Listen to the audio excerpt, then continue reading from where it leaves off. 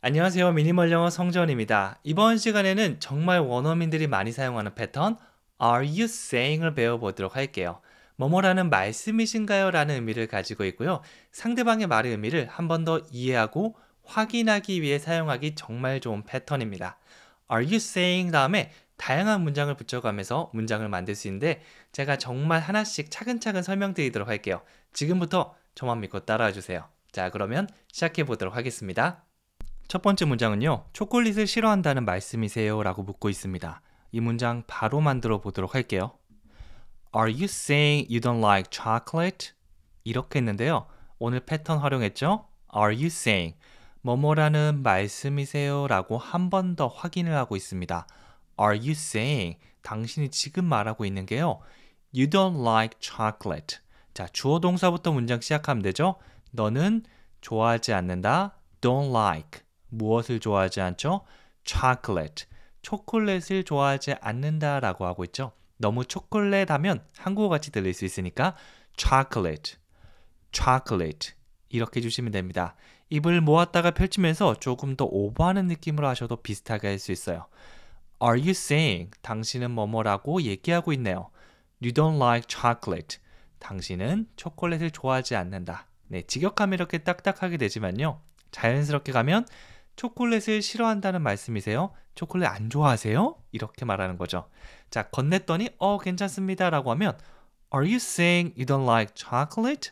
약간 믿을 수 없는 진짜 초콜릿을 좋아하지 않는 사람이 있단 말이야? 이런 느낌으로 Are you saying you don't like chocolate? 한 번 더 해볼게요. Are you saying you don't like chocolate? 좋습니다. 자, 두 번째는요. 제 말을 못 믿겠다는 건가요? 라고 하고 있습니다. 자 꾸 내가 얘기하는데 아, 그거는 좀 확실하지. 이런 식으로 얼마 부린다면 내 말을 못 믿으세요? 내가 이렇게까지 증거를 가지고 왔는데 어떻게 내 말을 못 믿을 수가 있어요? Are you saying you don't believe me? 이렇게 씁니다. believe 하면 믿다라는 의미죠. believe me. 나를 믿다. 그런데 여기서는 you don't believe me. 나를 믿지 않는다는 말을 하고 있죠. 부정의 표현 don't, 강세를 주면서 하면 훨씬 더 이해하기 편할 겁니다. 자, 일단 패턴부터 가볼게요. Are you saying? 너 지금 그걸 말하고 있는 거야? Are you saying? Are you saying? 무엇이죠? You don't believe me. 너가 나를 믿지 못한다는 거죠. Are you saying you don't believe me? 한 번 더요. Are you saying you don't believe me? 너 지금 나를 믿지 못한다는 그 말씀이시죠? 라고 하고 있는 거예요. 자, 세 번째는요. 뉴욕에 가본 적이 없다는 말씀이세요? 라고 했습니다. 어, 나 뉴욕에 가본 적 없어. 라고 상대방이 얘기한 것 같은데, 어? 진짠가? 라고 할 때 한 번 더 확인해 볼게요. Are you saying you've never been to New York? never been to를 사용했는데요. you've been to. 여기서 v, v이는요. have의 줄임말이라고 보시면 됩니다. 그래서 have been to. 어디 어디에 가본 적이 있다라는 의미예요. 근데 never를 붙여서 아주 강하게 부정하고 있죠. 가본 적이 없다라고 볼 수 있습니다. You've never been to. 당신은 가본 적이 없습니다. 라는 말이죠. York. 뉴욕에 가본 적이 없습니다가 되는 겁니다. You've never been to New York. 당신은 뉴욕에 가본 적이 없습니다. 그런데 우리가 앞에 are you saying을 붙여서 아, 가본 적이 없다는 그런 말씀이신가요? 라고 할 수 있죠. 자, 같이 해볼게요. Are you saying you've never been to New York? 한 번 더요. Are you saying you've never been to New York? 좋습니다. 조금 어려우시면요. Are you saying 따로 연습해 주시고 그 다음에 You've never been to New York 이거 따로 연습한 다음에 붙여주시면 됩니다. 나중에 또 우리 현재 완료 연습할 시간도 있거든요. 그때 연습하고 아 맞다 그때 그거였지 라고 확실하게 더 이해할 수 있을 겁니다. 아마 자주 보셨던 분들은 조금 더 이해가 편한데 처음 보셨던 분들은 좀 어려울 수 있으니까 한 번이 아니고 두 번, 세 번, 네 번 이렇게 여러 번 만나면서 내 문장이 된다라고 생각해 주시면 돼요. 자, 그 다음은 차가 막혔다는 거예요. 왜 늦었어? 라고 하니까 아 그게 있잖아요 하면서 막 얼머부리면서 차가 그게 차가 차가 차가 이러면 어우 답답해 Are you saying you got stuck in traffic? 이렇게 말씀해 보세요 Are you saying 일단 얘기했죠? 무슨 이런 이런 말씀이세요? 라고 한 다음에 you got stuck. 뭔가 어디 가둬둔 느낌이 got stuck이라고 볼 수 있습니다. 그런데 어디 가둬뒀죠? in traffic. 이 교통 속에 갇혀졌다. 이게 바로 차가 막혀서 내가 거기 꼼짝달싹 못했다라는 의미가 됩니다. 그래서 보통 내가 내가 주인공이 되면 I got stuck in traffic 이렇게 말할 수 있어요. 저는 그 차에다가 이렇게 막혀가지고 꼼짝달싹 할 수 없었습니다라는 의미죠. I got stuck in traffic 이렇게도 유용한 표현이 될 수 있겠죠.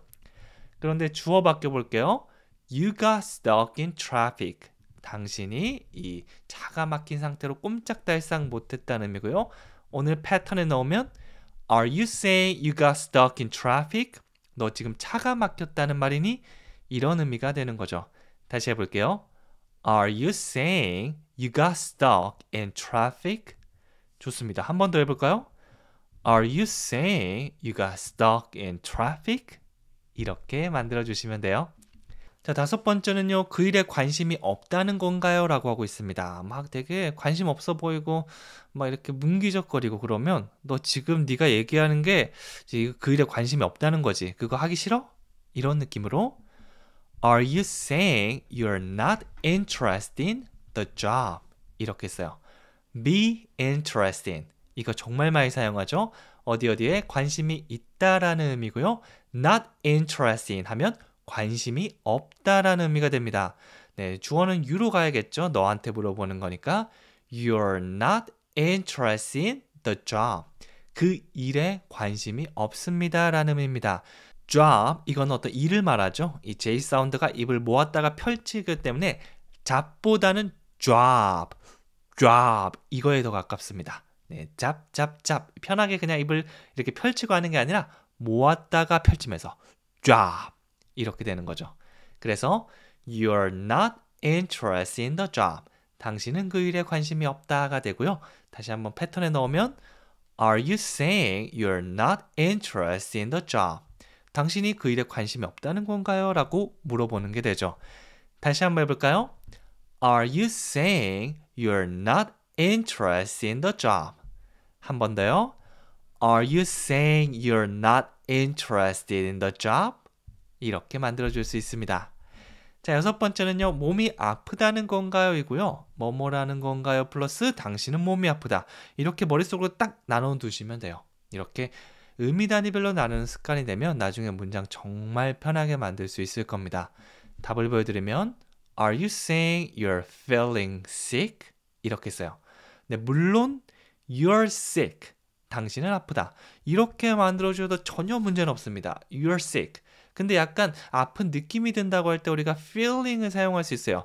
You're feeling sick. 약간 아픈 기분이고 그런 느낌이 든다라고 보면 되겠죠. 그래서 아나 머리도 약간 어, 열이 나는 것 같기도 하고 왜 으슬거리지? 그럴 때 여러분들께서 Are you saying you're feeling sick? 그러니까 네 말은 있잖아. 네가 지금 아프다는 거지. 이런 식으로 한 번 더 확인할 수 있습니다. 다시 한번 얘기해 볼까요? Are you saying you're feeling sick?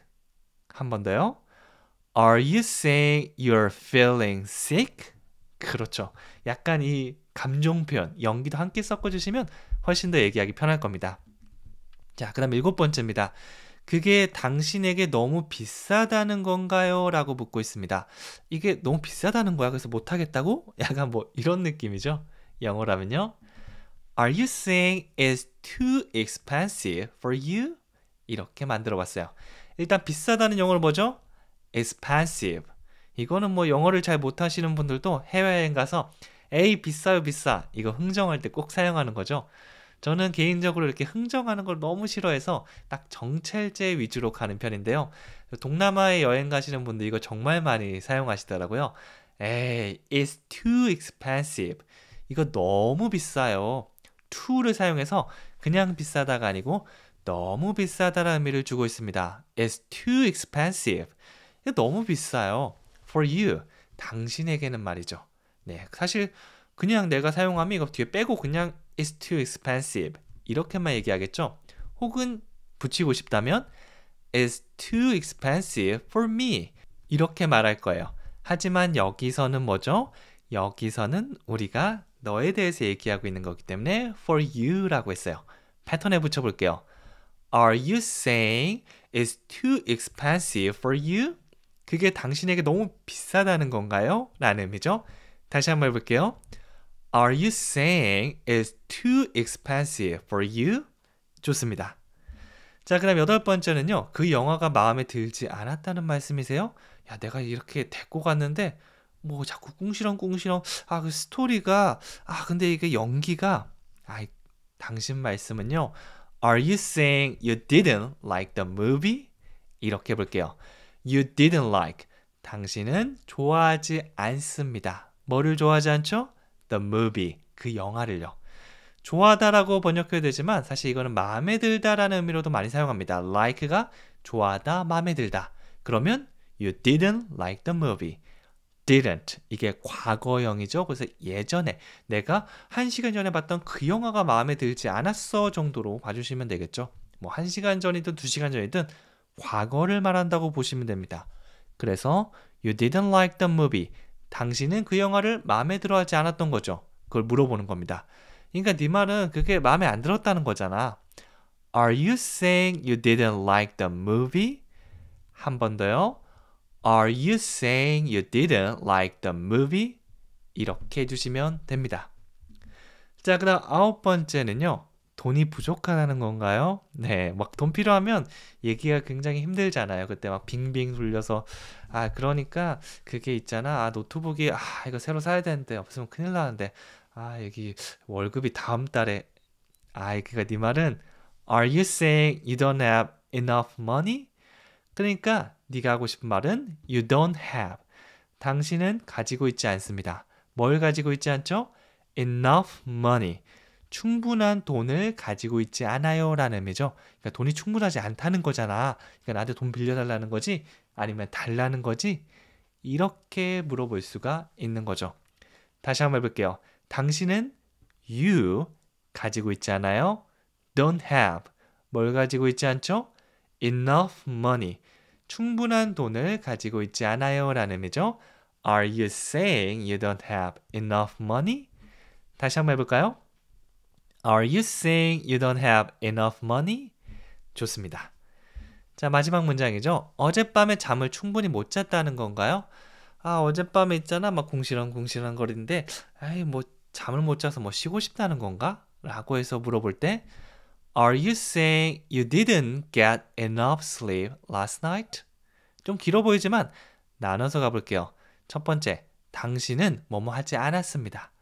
You didn't. 우리가 과거형 didn't 이걸 사용했었죠. 당신은 뭐뭐 하지 않았어요. You didn't. 뭘 안 했냐면 잠을 충분히 못 잤다고 하고 있네요. 그래서 잠을 자다라고 할 때 get 동사도 많이 사용합니다. get enough sleep. 충분한 잠을 자다라는 의미가 되는 거죠. 뭔가 얻는다는 느낌인데요. 물리적으로 무언가를 얻는 것도 맞지만 이렇게 푹 자는 거 이런 것도 우리가 get을 사용할 수 있습니다. get enough sleep. 그 다음에 last night은 어젯밤, 지난 밤이 되겠죠. 그 다시 나눠보면 주어 동사부터 너는 하지 못했어. You didn't. 아, 잠을 충분히 자는 거 말이야. Get enough sleep. 아, 그게 언제냐고? Last night. 어젯밤이지. 이렇게 문장 주어 동사부터 만들어 주시면 돼요. 다시 해볼게요. You didn't get enough sleep last night. 그걸 오늘 패턴에 넣어볼게요. Are you saying you didn't get enough sleep last night? 어, 좀 길어 보이죠? 다시 해볼게요. Are you saying you didn't get enough sleep last night? 네, 이거 아까 제가 나눈 대로 한번 나눠서 연습해 주시고 붙여주시면 자연스럽게 말할 수 있을 겁니다. 네, 길어 보이는 문장은 나눠서, 나눠서 반복, 그 다음에 붙여본다. 이렇게 생각해 주시면 돼요. 차근차근 해주시면 됩니다. 자, 그럼 마지막 숙제 드리도록 할게요. 제 말을 못 믿겠다는 건가요? 오늘 배웠던 편인데 약간 가물가물하게 떠오르지 않나요? 이럴 때 우리가 확실하게 다져주기 위해서 한번 써보고 말해보는 시간이 필요합니다. 헷갈리시는 분들은요, 강의 다시 보셔도 괜찮고요. 다른 분들이 쓰는 댓글 참고해 주셔도 괜찮으니까 꼭 한번 써보시고 말씀해 보세요. 여러분들의 큰 자산이 될 겁니다. 자, 그러면 여기까지 너무 고생 많으셨고요. 저는 다음 시간에 또 찾아오도록 할게요. 감사합니다.